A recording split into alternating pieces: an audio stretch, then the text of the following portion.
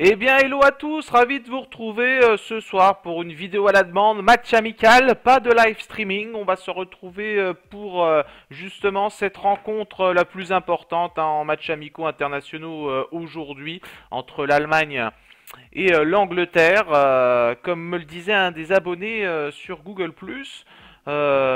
Paris Shit, pa Paris Shit Prithvi, qui me disait que ce sera sûrement une des demi-finales de cette euh, compétition de l'Euro 2016 qui se profile euh, entre ces deux équipes. C'est vrai que euh, c'est possible. Hein.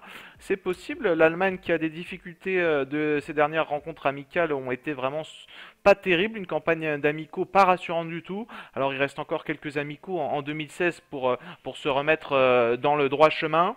Mais voilà, c'est une équipe qui cherche aussi un attaquant de pointe. Il y a Mario Gomez, là vous le voyez, qui, qui euh, revient, qui sera utilisé. Bon, euh, c'est pas les formations euh, proposées par Electronic Arts qui lui non plus, Electronic Arts n'ont pas actualisé les effectifs en fonction des 23 joueurs sélectionnés pour cette campagne de matchs amicaux internationaux. Euh, oui, il y avait Gundogan et tout ça, mais euh, ça a été écarté. Hein. Je suis allé voir sur le site euh, de la fédération allemande. Il y a pas mal de joueurs qui sont pas là. Puis offensivement, on n'a pas énormément de monde, hein, puisqu'on a Mario Gomez qui est un avant-centre pur. mais bon, il évolue au Besiktas, donc voilà quoi. Ça fait. bon, il a quand même 61 titularisations, 25 buts marqués. Il y a Mario Gomez, Mario Goetz, Mario Goetz, oui, pardon, qui voilà plus jeune et effectivement Bayern Munich, mais c'est pas forcément un attaquant de pointe, euh, voilà, c'est plutôt euh, aussi euh, dans le cœur du jeu un joueur important, donc en finition. Puis il y a Kevin Voland, le joueur d'Offenheim, mais bon, voilà. Puis encore une fois, on va reprocher à Electronic Arts aussi de mettre des réservistes sur un match amical, alors que normalement tu as tes 23 joueurs et tu peux avoir le banc, une profondeur de 12 joueurs sur le banc. Malheureusement, ça n'est pas le cas. J'ai de mettre des réservistes, donc j'ai écarté tous ceux qui avaient une note un petit peu plus faible en note générale mais Volante, hein, qui pourrait avoir sa place, hein, qui est plutôt un bon joueur, euh, qui a même la même, note que, euh, que Mario Gomez. Il est plus jeune, hein, beaucoup plus jeune. Euh, donc voilà, né en 92. mais bon, c'est dommage, c'est dommage à ce niveau-là. On voit, voilà, il a 23 ans. Il est plutôt utilisable un petit peu partout en plus, il est un petit peu polyvalent. Et bon, l'Allemagne, hein, qui on le rappelle hein, sur ses derniers matchs euh, en, 2000, euh, 2015, ce sont trois matchs amicaux pour euh, un match nul et deux défaites. Hein. Défaite face aux États-Unis, défaite face à la France, on le rappelle chez nous juste avant les attentats à Saint-Denis et à Paris. voilà. Ils avaient perdu en mars. non, ils avaient fait match nul en mars face à l'Australie 2-2. On sait l'Australie, même s'ils ont fait une, un bonne, ouais, une bonne Coupe du Monde 2014, on va peut-être pas dire bonne non plus, parce qu'ils ont été éliminés, mais ils avaient bien débuté. Ils avaient montré un beau visage. Mais voilà, 2-2. Ensuite, défaite face aux États-Unis en juin dernier, enfin juin 2015. Euh, à domicile, les Allemands avaient perdu 2-1. Ils avaient perdu chez nous, euh, donc 2-0. Et donc en 2016, ils ont une campagne d'amicaux. Alors à savoir l'Angleterre, l'Italie ensuite, euh, le 29 mars. Ensuite, le mois de mai, ce sera la Slovaquie. Tous les matchs à domicile, semblerait-il, à moins que ce soit dans un contexte, neutre au mois, de, mai, mais bon, 29 mai face à la Slovaquie. Et la Hongrie aussi. C'est vrai que c'est pas forcément des grosses équipes avant de débuter euh, cette. Euh, mais bon, on va peut-être pas affronter non plus des équipes qualifiées, euh, plus on se rapproche de la compétition. Côté anglais, 4 matchs amicaux effectués.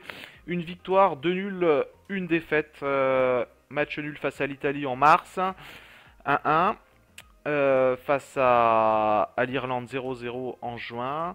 En novembre, défaite à l'extérieur 2-0 des Anglais. Et ensuite, quand ils sont revenus chez eux, ils ont battu la France qui revenait des attentats aussi 2-0. Euh, On n'était pas vraiment très bon, très, très en forme. C'est le clair, hein, c'est le cas de le dire. Mais on s'est bien imposé hein, euh, face à cette équipe des Pays-Bas. 3-2 à l'extérieur. Très belle performance des Français, même si on s'est relâché à 2-0. C'était débuté comme en virtuel. Hein. Sauf qu'ensuite, euh, il y a eu 2-1, donc ils ont égalisé comme en virtuel. Ensuite, on n'a pas, remis de but, on s'en est pris un. Et en fait, il y a Matuidi Charo qui est arrivé. Euh, très belle, réalisation de sa part. Vivacité, frappe entre les jambes en angle ferme, très rapide, magnifique. les, Allemands, les Anglais affronteront donc l'Allemagne. Les Pays-Bas le 29 mars, euh, donc on va voir ce qu'ils font. Hein. Nous on les a battus, mais ils les affrontent chez eux, les Anglais. Ensuite la Turquie au mois de mai. Ah, ils ont, même trois matchs amicaux avant l'Euro. Parce qu'ils affrontent la Turquie le 22 mai. Ensuite, euh, l'Australie le 27, 27 mai, ça va être tranquille. Et le Portugal, par contre, euh, le 2 juin. Ouais, c'est déjà plus lourd que ce qu'affronte l'Allemagne. Hein. L'Allemagne qui préfère être tranquille. Mais bon, euh, côté anglais, que dire On a fait tourner aussi, on cherche aussi des pointes, même si, voilà, Harry Kane est quand même un joueur à, très très de très très bonne qualité. Euh, et puis aussi un Vardy, malheureusement Vardy, euh, euh, je suis obligé de le mettre en réserviste, il n'a pas, une note suffisante par rapport à Sturridge. Mais bon, il a été réévalué quand même, accélération 91 avec ses performances avec Leicester. Et puis N'Golo Kanté a été titularisé, donc je vois bien ouais, aussi Vardy euh, être utilisé, mais bon, il faudrait l'augmenter plus ou virer cette zone réserviste qui gêne plus qu'autre chose.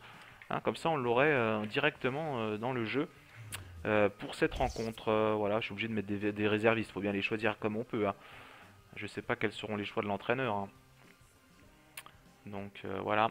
voilà, Olympia Stadion pour cette rencontre à Berlin. Donc Hertha Berlin qui, qui évolue dans, cette, dans ce stade. Enfin bon, on va pas trop discuter. Vous êtes prêts pour cette rencontre. On voit que les, maillots n'ont pas été mis à jour. Hein. Je crois que c'est les anciens. Donc on attend les nouveaux, nouveaux maillots pour l'Euro. allez, passons match. Tout le monde l'attend, même si c'est pas du live streaming.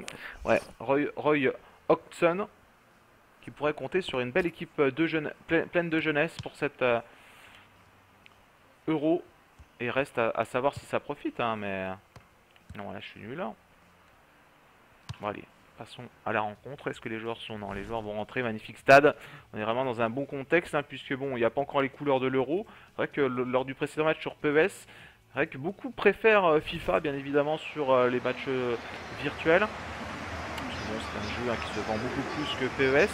Bon, vu qu'ils ont eu la licence, hein, ils ont réussi à la récupérer. Je vois pas pourquoi je ne resterai plus sur FIFA. Parce que bon, ils ont quand même engagé beaucoup d'argent, Konami, pour essayer de grappiller cette compétition. Donc il faut essayer, même si les joueurs préfère FIFA, de, les ramener un petit peu sur PES. Après, ça vous oblige bien évidemment à avoir deux jeux en même temps. Euh, quand il s'agit de suivant la compétition qui va être avoir lieu dans l'année. Euh, voilà, pourquoi se priver toute l'année d'un FIFA parce qu'on sait qu'il va y avoir l'euro après? De toute façon, ils vont faire un jeu euh, euro dédié, hein, donc. lire les hymnes.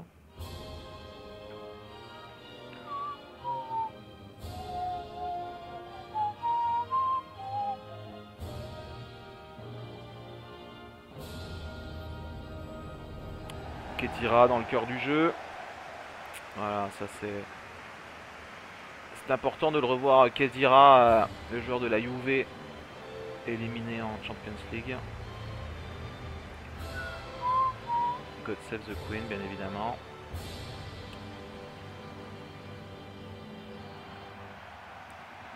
Voilà, c'est vrai qu'on me l'a demandé ce match. Hein, c'est Parikshit euh, Prithvi à prononcer. Hein. Mais en tout cas, dédicace à toi. J'allais le faire quand même ce match, mais bon, j'ai vu ton petit message, euh, ton petit commentaire sur Google+. Je me suis dit, allez, c'est attendu, au moins par une personne. Allons-y, faisons-le. Puis il y a I'm Léo là qui n'arrête pas de me solliciter pour un nouveau jeu concours. S'il doit avoir un jeu concours, ce sera pendant l'euro, hein, pas avant, hein, parce que ça prend du temps, il faut que je m'organise. Donc euh, voilà, en plus il y aura bon, deux matchs euh, par jour à peu près pour l'euro. On est allé jusqu'à 3 avec euh, la Coupe du Monde en génération, mais bon maintenant j'ai beaucoup plus de, rapidité pour uploader une rencontre euh, virtuelle, donc euh, on va voir ce que ça donne. J'ai pris d'ailleurs la formation annoncée par Eurosport à peu près, même si j'ai laissé Ginter sur le côté droit côté allemand, puisqu'ils ils mettent Antonio Rudiger, alors que dans le jeu, il n'a pas, pas un profil de défenseur droit arrière, arrière défensif droit. Donc, euh, je sais pas. Hein, j'ai préféré Ginter. Je sais pas quel. Joachim Lowe fera ses choix. Moi, j'ai fait les miens. C'est vrai qu'en live streaming, c'est plutôt plus facile. Même si euh, j'étais encore un petit peu loin de la, formation euh, alignée lors du match Pays-Bas-France, hein, puisqu'il y avait quelques décalages. C'est vrai que j'étais un petit peu dans le. Mais la prochaine fois, je ferai au mieux. Et je serai en live streaming, vu qu'à une heure avant, en général, tu as la bonne formation je ferai quand même l'effort de mettre euh, les bons joueurs, parce que la seule différence qu'il y avait pour le match de la France, c'était Payet.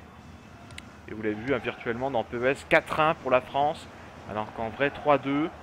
Victoire de la France néanmoins, mais c'est vrai qu'on aurait pu marquer plus de buts. Hein. Parce que l'équipe des Pays-Bas, avant qu'elle ne se remette un petit peu dans le droit chemin,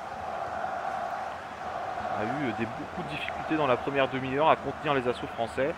Il y a eu un très bon gardien, euh, même s'il en, a, en a encaissé deux très rapidement, mais il a quand même repoussé euh, certaines offensives de Griezmann euh, sur cette tête là et cet arrêt réflexe à la handballeur. Et puis attention à l'incursion avec Mesut Özil, avec Ginter, le décalage. Je suis repassé en légende hein, pour voir ce que ça donnait. Alors on espère quand même qu'il y aura plus d'action.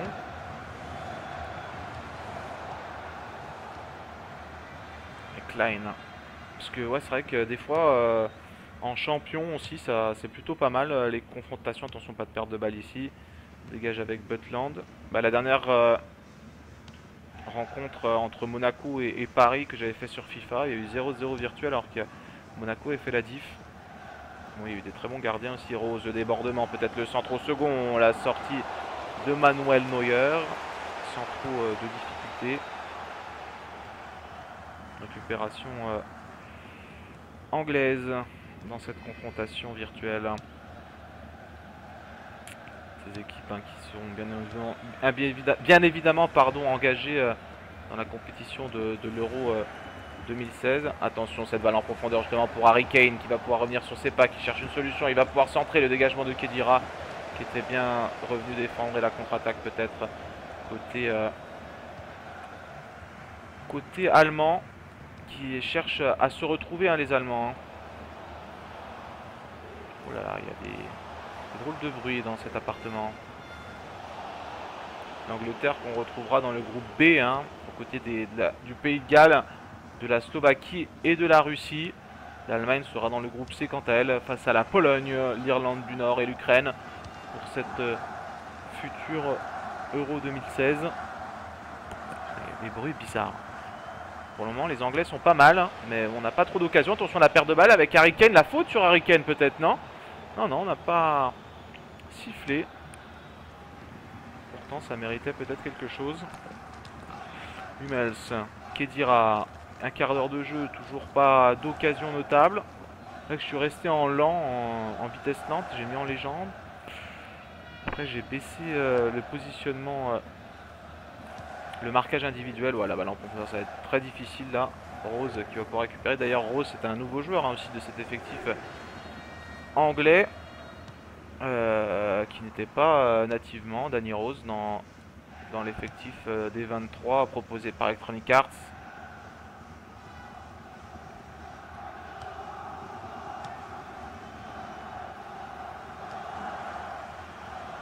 Toujours un match où les deux équipes s'observent de but. il joue avec Tottenham, bien sûr, Danny Rose titularisé. c'est ce que dit Eurosport. On va voir euh, ce verra ce qu'il en est dans la vraie rencontre. Alors, il y a d'autres matchs amicaux hein, qui se seront déroulés euh, plus tôt. Alors, on a un Pologne-Finlande, un Autriche-Albanie, où l'Autriche mène déjà 2-0 face à l'Albanie. L'Autriche est une équipe qui va être à suivre, hein, je pense. Attention, cette incursion avec euh, Kedira. Non, ça va être pour Reus.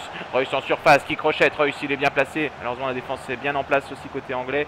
Hector, on essaie de contourner, de poser des problèmes. Attention, c'est rentré. Reus qui fait beaucoup de boulot, qui va frapper angle fermé. le but de Marco Reus. Oh, quel but. Reus est parfaitement passé en angle fermé. C'est assez euh, surprenant de voir ça. Euh, Marco Reus, du joueur du Borussia Dortmund, qui allume angle fermé et qui vient abattre Butland. Il faut la mettre hein, là dans cet espace. Après il aurait pu chercher le centre. Il y avait du monde au centre, mais très très belle frappe. Ouverture du score pour les Allemands dans cette confrontation virtuelle par euh, Marco Reus.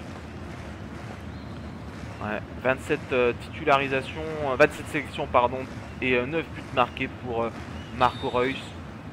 je suis sur le site de la DFB officiel. Alors il n'y a pas de traduction en, anglais ou en français, c'est dommage, c'est tout en allemand.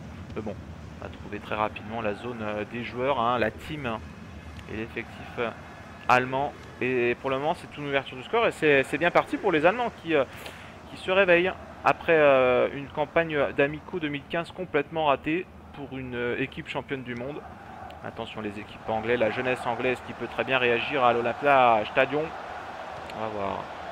Il se pose encore des questions sécuritaires hein, pour cet euro, hein, puisqu'on ne sait pas vraiment si euh, il va avoir lieu. On pense hein, bien évidemment qu'il va avoir lieu, mais C'est vrai que c'est risqué avec euh, cet état islamique euh, de merde, voilà, pour ne pas le citer. S'ils pouvaient se contenter euh, de vendre du pétrole à, moindre prix au lieu de tuer tout le monde, hein, de chercher à tuer tout le monde. Parce que le pétrole, c'est pas marqué, hein, euh, vous allez extraire du pétrole euh, dans le Coran, c'est pas marqué ça non plus. Pourquoi ils extraient du pétrole et le revendent au plus offrant? Ils ont inventé les, puits de forage Non, c'est pas, c'est pas, c'est pas l'État islamique qui a inventé ça, non? C'est pas el-Baghdadi. Enfin bref, on va pas changer de sujet. La faute là. Et le ballon rendu aux Anglais qui vont pouvoir se dégager, mais qui pour le moment ne sont pas très, pas très dangereux euh, offensivement. Ces deux formations qui se, au niveau de la stratégie, qui se, qui sont comparables, hein, avec un, un 4-5-1 de part et d'autre, avec des joueurs euh, sur les côtés qui peuvent euh, éventuellement apporter un petit peu plus euh, offensivement, qu'on l'a vu avec euh, Marco Reus.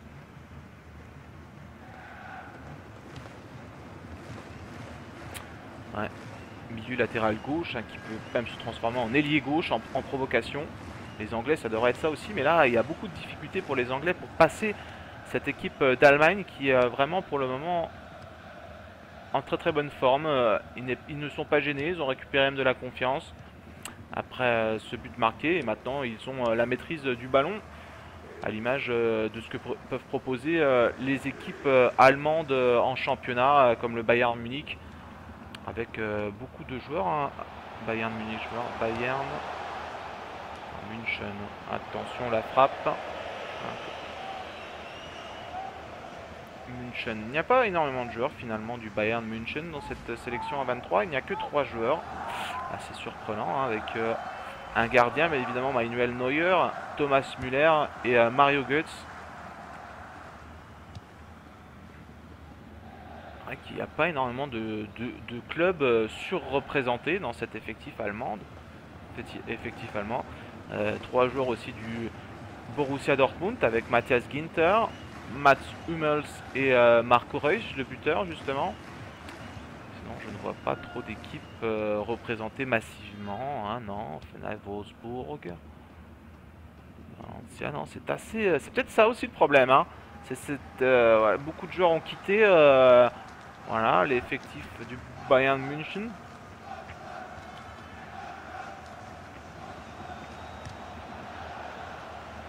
Enfin, il manque peut-être aussi des joueurs, hein, je ne sais pas. Mais bon, c'est vrai que c'est un petit peu disparate. Côté anglais, euh, je sais pas ce qu'il en est non plus, mais...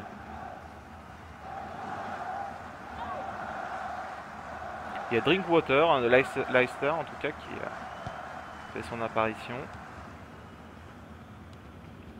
dans l'effectif euh, anglais. Pour le moment, les Allemands sont tranquilles après cette ouverture du score. Ils ne sont pas, n'ont pas été mis en danger. Il n'y a pas eu beaucoup d'occasions. Il y a eu une incursion, un but côté allemand. Ils sont sérieux. Ils sont appliqués. Ils ont la possession. Mais bon, il s'agirait peut-être d'avoir de nouvelles occasions. Ça serait bien. Parce que bon, même si on a des buts, on aimerait bien voir euh, plus de tentatives.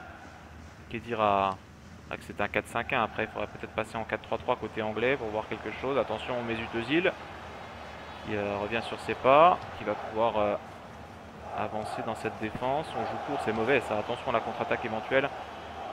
Kane qui euh, conserve le ballon, qui va jouer la bonne passe peut-être. Il va jouer euh, le décul. Oh la mauvaise passe. Et ça repart en contre-attaque côté allemand. Les, passes sont manquées. On va vers l'arrière. Hector avec Reus. La passe courte pour Kroos. Tony Kroos qui revient sur ses pas. Ils sont bien placés les Allemands. Peut-être la frappe de Mario Gomez. La tête. euh, Ali qui perd euh, la balle. Et il reste une minute additionnelle. Est-ce que ça va siffler avant cette dernière occasion allemande? Inter qui peut fournir l'effort peut-être. Revenir sur ses pas. Avec Kedira. Özil. Ouais, ça ne passe pas. Défense euh, anglaise est un petit peu bien en place quand même. hein, mais c'est passé au moins une fois par euh, un très très bon euh, Marco Reus un tir, un but. Mais on va voir que les statistiques sont assez faibles hein, pour deux équipes en 4-5-1. C'est vrai qu'il faudrait peut-être passer plus offensive. On va faire le choix à côté anglais de passer plus offensif, je pense. Avec un 4-3-3 euh, en reprenant un petit peu le contrôle de cette équipe de la Rose. Enfin, des lions plutôt, des 4 lions, des 3 lions, pardon. Équipe de la, 15 de la Rose, c'est c'est plutôt dans le, au rugby ça. On revoit l'incursion et la frappe puissante qui bat Butland en tant qu'il couvre bien son angle. Ouais, voilà, bon, les Anglais sont, c'est un petit peu, un petit peu jeune hein, quand même comme effectif. Hein. Faut voir, faut voir, parce que les Pays-Bas aussi, euh, c'était un mix entre les cadres et euh, les jeunes lors de la Coupe du Monde 2014. on pensait pas qu'ils allaient aller si loin, finalement, ils sont en demi-finale. pour le moment, la domination est clairement allemande. On va reprendre. Putain, j'ai l'impression qu'il y a Chewbacca dans le dans, dans, l'immeuble Ça fait un bruit. Euh, ils font des travaux là. Ça fait Chewbacca, ça fait le bruit de Chewbacca. Euh, Allemagne. Euh, plutôt anglais dispositif. Donc on va passer sur un 4-3-3 avec deux joueurs en MDC. Je pense qu'on va rester comme ça. c'est lequel? C'est le 4-3-3 défensif me semble-t-il. 4-3-3 offensif, 4-3-3 défensif, ouais, mais plutôt un MOC, hein, je vois bien un MOC quand même, euh, voilà, comme ça c'est bien. Voilà, équipe d'ailleurs MDC, ouais, Anderson un peu plus haut, Lalana en milieu offensif, Harry Kane, non, euh, voilà, Ali peut jouer côté gauche, ouais, bon, peut-être Lalana plutôt côté euh, milieu gauche, je sais pas, Qu'est-ce qu'il disait dans la formation côté Eurosport? Il disait euh, Walbeck, MOC c'est qui? C'est Ali, MOC. Ensuite Lalana côté droit. Côté gauche Welbeck, ouais bien sûr. Et en pointe Harry Kane. Voilà, ça paraît logique. Voilà, on va rester comme ça. On va voir si ça permet une réaction côté anglais et de d'avoir plus d'occasions. Attention éventuellement en contre-attaque hein, parce que plus de joueurs à vocation offensive, donc moins de repli sur les côtés. On va quand même suivre euh, les arrières latéraux euh, allemands. Allez, passons à cette seconde période.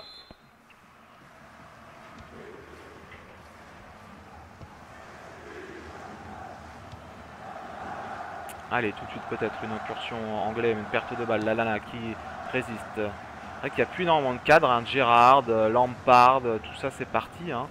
Il n'y a pas Terry en défense compter sur euh, Smalling Kail. Euh, attention, l'incursion, ça a failli euh, profiter cette première tentative de débordement anglais dans cette seconde période. Et c'est plutôt pas mal hein, avec ce 4-3-3 qui permet un petit peu plus de, de prise de risque. La frappe, malheureusement, elle n'est pas cadrée. Du milieu offensif Ali, d'aller Ali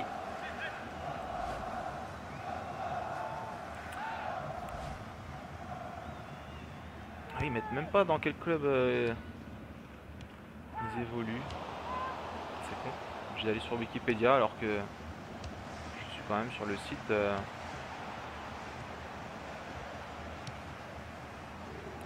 Ouais. joue. Euh. Et voilà. Il est là le but de l'égalisation. Je regardais les statistiques pour Dale Ali. Et c'est Walbeck qui vient Ah, Tottenham, hein. c'est vrai que c'est bien représenté Tottenham aussi. Légalisation, on va revoir parce que j'étais pas là, ça circulait bien. Incursion ici, la défense essaye de bien le tracer, par contre c'est passé ici, par contre il est trouvé tout seul et il allume. Il allume parce que le marquage n'est pas suffisamment, ouais. Il a le temps de se retourner, d'allumer Neuer euh, en pleine lucarne. Danny Welbeck, euh, tranquillement. Ça fait 1-1 dans cette confrontation. Euh. Très très beau, assez délicat de suivre en même temps le match c'est con que ce site-là mette pas les, les clubs dans lesquels évoluent les joueurs. Pourtant, c'est le site officiel, quoi.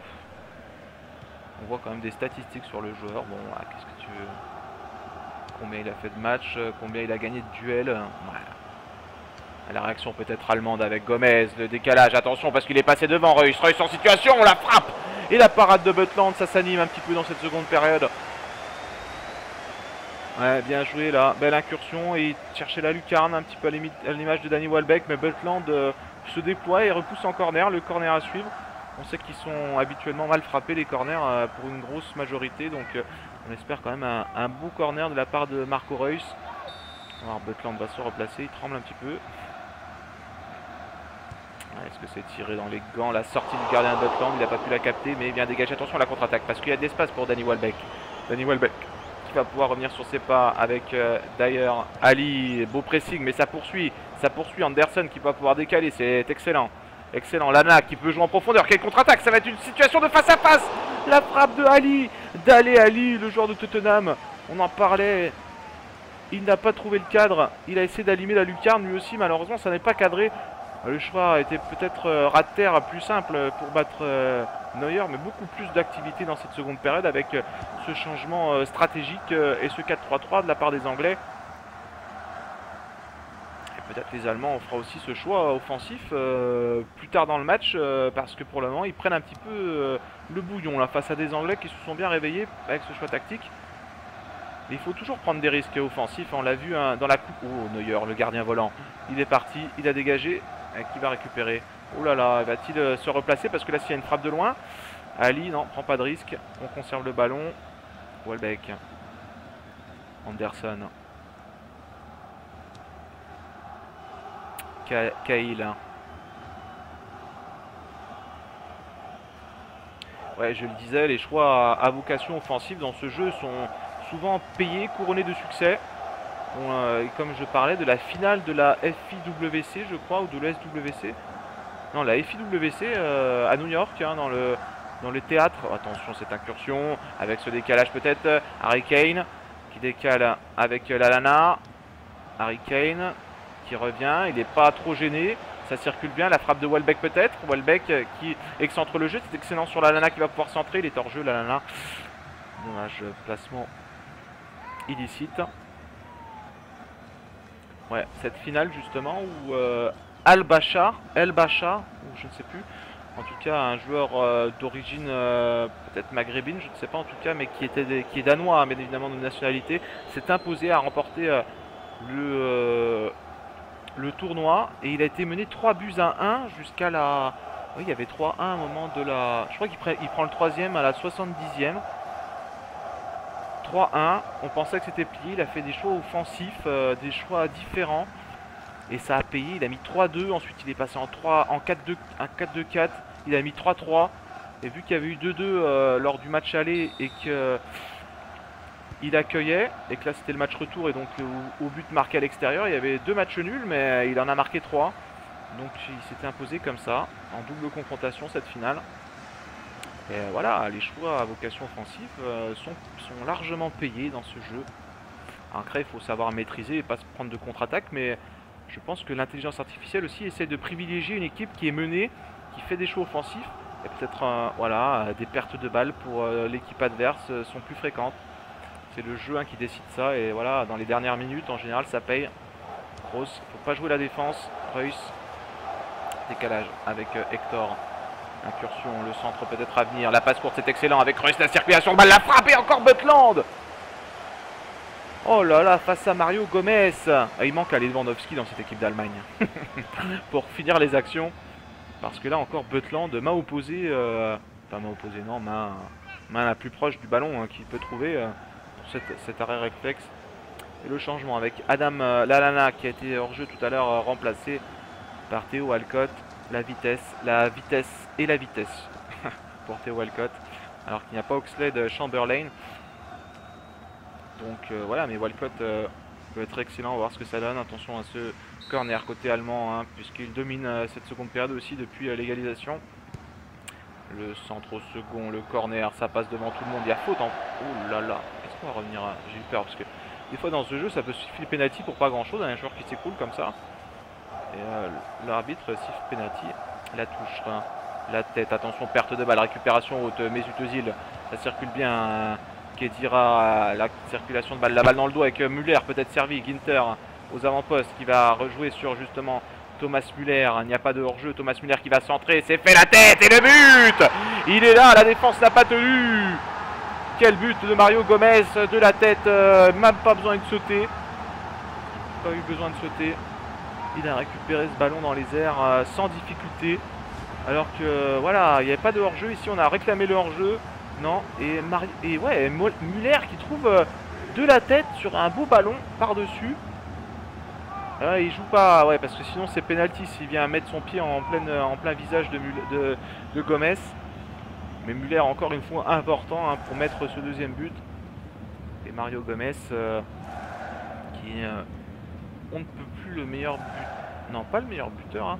Qui est le meilleur buteur actuellement C'est Podolski, hein, le meilleur buteur en activité de cette équipe d'Allemagne. avec Et le, joueur qui a le plus de sélections, avec 126 sélections. Lucas Podolski, toujours là. Et 48 buts marqués. Et ouais, effectivement, Mario Gomez est le second meilleur buteur de cette sélection allemande il vient trouver euh, la faille. Et ouais, Ali hein, qui a eu des occasions aussi de marquer euh, le but. Hein. Malheureusement, il n'a pas euh, trouvé le cadre. C'est vrai que Neuer peut être impressionnant aussi dans ses cages. Walcott. Hein. Klein. Il reste encore un petit peu un quart d'heure. Ça s'est animé en seconde période. Il y avait mais bon, dès qu'il y a des buts, en général, euh, puis quand vous changez un petit peu les formations, bon, l'Allemagne euh, a plus des raisons de rester en 4-5-1 et les Anglais de rester en 4-3-3. Mais attention, contre-attaque des Anglais qui pourraient euh, se faire prendre à l'expérience, puisque les contre-attaques, on connaît certains joueurs de Wolfsburg, par exemple, qui ont fait forte impression lors du match de Champions League du huitième de finale. Même pas forcément le match retour, mais le match aller plutôt. On va retenir. Le centre, attention à la récupération allemande, la frappe Oh là là là là là, la parade de Butland Sur cette reprise de Mesut Özil peut-être, je ne sais pas qui a frappé. Du gauche, pour une qualité de frappe du gauche comme ça, je ne sais pas. C'était Kézira, je ne sais pas du tout. Kramer qui rentre, Christopher Kramer, le joueur du Bayer Leverkusen. 11 sélections, 0 but euh, marqué. Un des seuls joueurs qui n'a pour le moment pas marqué au milieu de terrain dans cet effectif. C'est d'ailleurs le, seul joueur hein parmi les milieux de terrain euh, allemands, n'a pas avoir marqué, mais c'est vrai que ça, fait pas longtemps qu'il a des titularisations, seulement 11, 11 euh, sélections. Il y a Bellarabi hein, qui a quand même marqué en 10 sélections, mais d'ailleurs ils évoluent dans le même club du Bayer Leverkusen. Attention la tête, la sortie de Butland qui est très lourdement sollicité, hein, très lourdement. Il s'est incliné quand même, euh, mais il a quand même fait des belles parades. Il tient presque à lui tout seul cette défense anglaise qui pêche un petit peu. Hein. Hein, Smalling euh, et euh, Kyle qui ont des difficultés. Klein et Rose, euh, Rose a été sorti, non, il est toujours là, mais on va jouer en deux, en deux temps. Peut-être Özil, la passe courte avec Gomez, le mauvais, par, mauvais contrôle de Gomez. il ose encore réclamer le corner. je ne comprends pas, il n'y avait pas une souris, qui a, une souris anglaise qui a touché le ballon. On voit cette tête, là, il est là, il a la présence. Et... Ah, il y a quand même encore, il la touche, un Butland.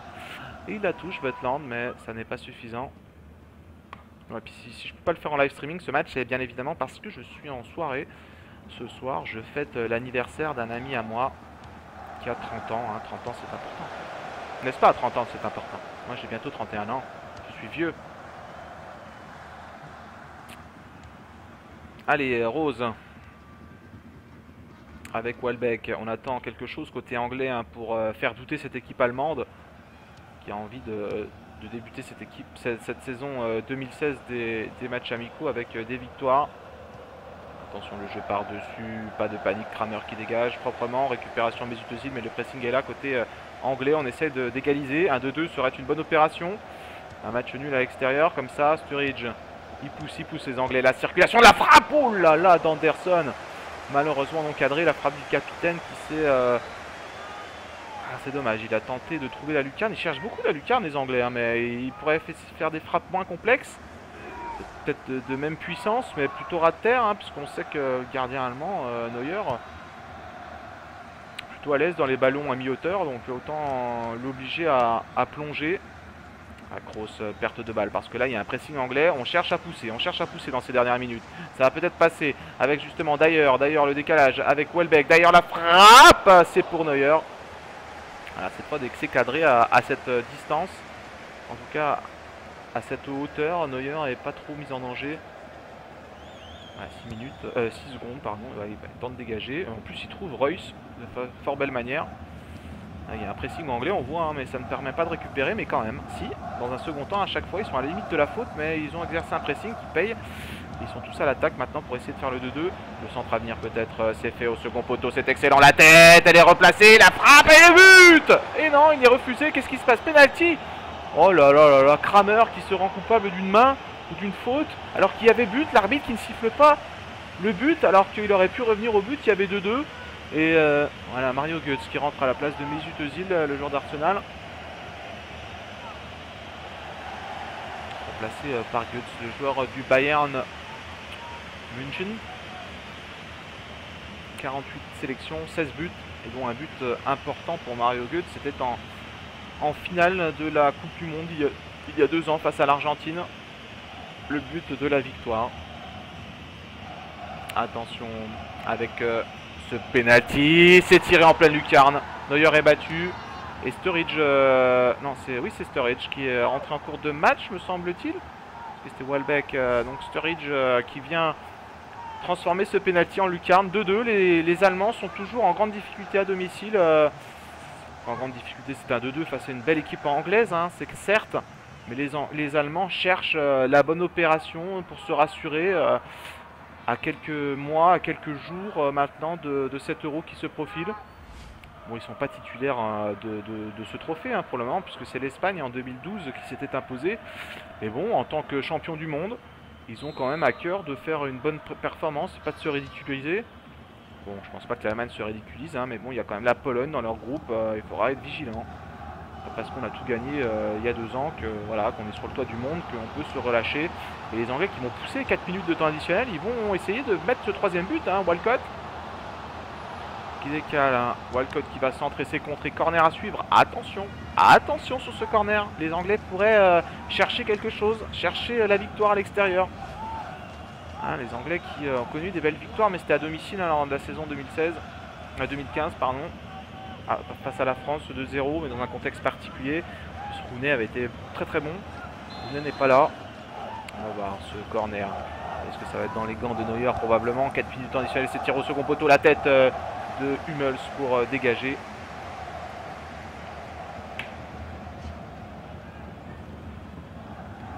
Ouais, Mats Hummels euh, avez coûté cher à la Coupe du Monde lui. Avec cette tête face à Varane là. 1-0, score qui n'avait plus bougé malgré les tentatives de Griezmann, de, Benzema. Grosse qui récupère un 4 minutes et ça va sûrement siffler sur cette fin de à moins qu'on attend la contre-attaque. Ouais, on va jouer par-dessus, c'est plutôt pas mal. Belle passe avec le contrôle de Reus qui se bat dans les airs. Oh là là, il était hors jeu peut-être à l'origine du ballon, au moins qu'on ne suive plus une faute ou une main. C'est un coup franc pour les Allemands qui vont pouvoir tenter le 3 buts à 2 il va falloir essayer de la placer par-dessus C'est grosses hein, qui s'en charge. On sait qu'il a une grosse capacité sur coup franc. Hein, le Real Madrid euh, peut compter sur lui, sur les coups de pied arrêtés, même si bon, en coup franc direct, on, privilégie Cristiano Ronaldo au Real Madrid, mais il a quand même des capacités, un beau toucher de balle. Alors va-t-il essayer de la jouer euh, pour trouver une tête? Ou va-t-il la tirer direct? Est-ce que Butland va réussir à repousser ce ballon ça s'est bien animé dans cette seconde période. On a eu beaucoup de ralentis, beaucoup de. On arrive à 40 minutes, c'est tiré, c'est centré. La tête récupération Gomez, ça revient en arrière pour Ginter. Ginter passe courte Hummels. Hummels sous avant-poste qui frappe, mais bon, c'est un défenseur. Que voulez-vous qu'il fasse? Il n'a pas trouvé le cadre et est-ce que ça va siffler? Est-ce que ça a sifflé? Ah, mais il y a une main en plus, c'est détourné. C'est détourné de la main et euh, ça aurait pu être un nouveau coup franc. Donc on va peut-être jouer le, corner. Ah, Bellarabi, Karim Bellarabi qui remplace Mario, Gomez. Euh, choix défensif, résolument défensif ou Bellarabi bon, est capable de jouer euh, aux avant-postes aussi. Hein, mais... Ah, il est blessé, il est blessé et boitille, et boitille Mario Gomez. Ce serait dommage. Virtuellement en tout cas, c'est dommage, c'est sûr. Mais dans la vraie rencontre, si Mario Gomez venait à se blesser, ce serait dommage parce que en termes d'attaquant pur, on n'a pas grand monde hein, en Allemagne. Hein euh, en termes de pivot hein, dans cette euh, pour essayer de, remettre des ballons à, Muller ou éventuellement sur des ballons aériens. C'est un joueur important. Ah, il est blessé, voilà. Quelle nature est sa blessure La sortie de Leutnant, tranquille. Ça va dégager et ça va se clôturer sur ce 2-2 entre ces deux formations. Match résolument équilibré, à moins qu'on n'assiste à une contre. Voilà, c'est sifflé. Walcott n'aura pas, pas, pas pu partir au but. C'est un match nul 2-2 entre ces deux formations un match plaisant où voilà, les équipes regagnent directement le vestiaire bon, parce qu'il il pourrait avoir une prolongation, hein, mais bon, on est dans un match amical, amical international. Donc euh, voilà, on arrive à 40 minutes de vidéo, on va les dépasser d'ailleurs, mais on va revoir toutes ces occasions.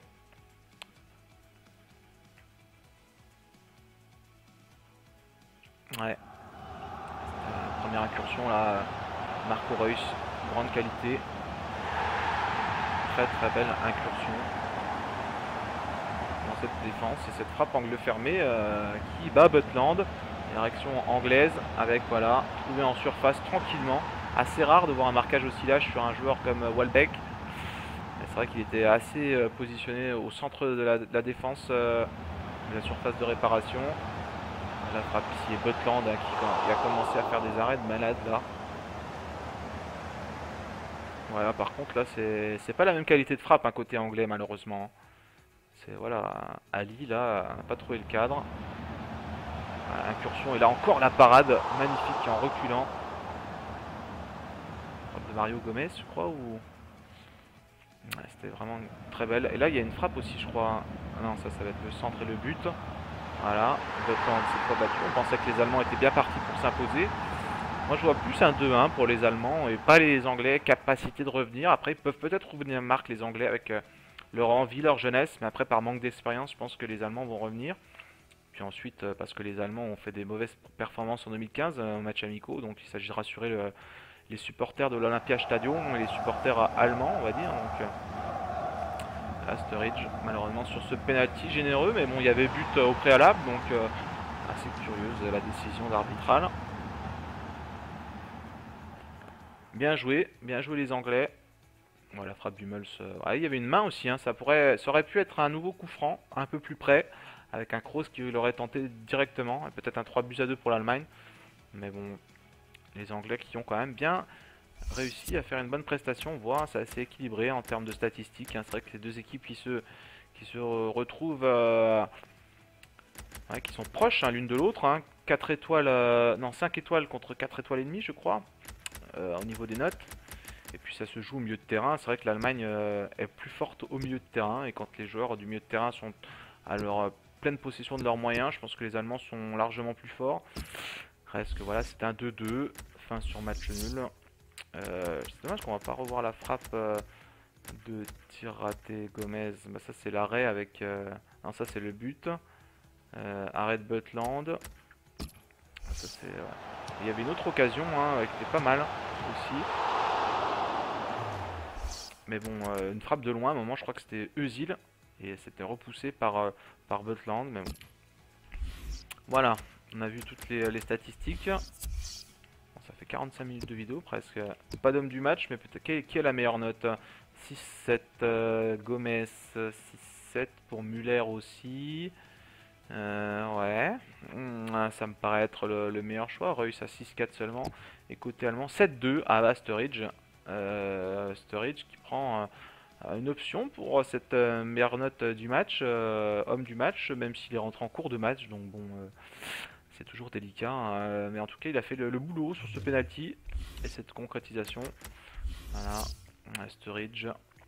avec un tir, un but. C'est vrai qu'avec ces genres de statistiques, si on prend pas en considération que c'est sur un penalty, on peut tout de suite lui mettre des bonnes notes. Euh, Allemagne, Belle Arabie non noté. Bah, pourquoi ils le mettent en performance, euh, performance joueur alors qu'il n'est pas terrible Belle Arabie?